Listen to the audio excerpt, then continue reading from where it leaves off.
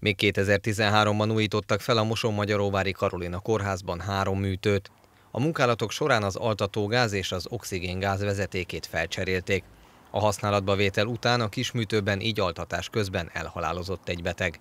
Az ügyben most első fokon megszületett a Moson-Magyaróvári Bíróság ítélete.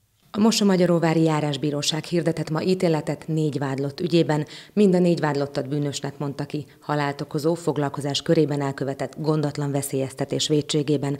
A vádlottakat egy év hat hónap fogházban letöltendő szabadságvesztésre ítélte, azzal, hogy a büntetés végrehajtását két év próbaidőre a bíróság felfüggesztette.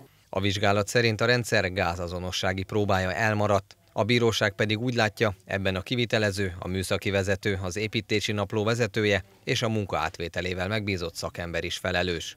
Bíróság álláspontja szerint nem lehet differenciálni. Ki volt az, aki kicsikét vétett, kisebb szabályt vétett, nagyobb szabályt vétett. Mindegyikőjük egyformán ugyanúgy szabályt szegett, amik ok-okozati összefüggésben állnak egymással, ami elvezetett a 2013. július 25-én, illetve 26-án történt eseményekhez. Az ügyész a büntetés súlyosításáért, a vádlottak és ügyvédjeik felmentésért, illetve enyhítésért fellebbeztek, így az ítélet még nem jogerős.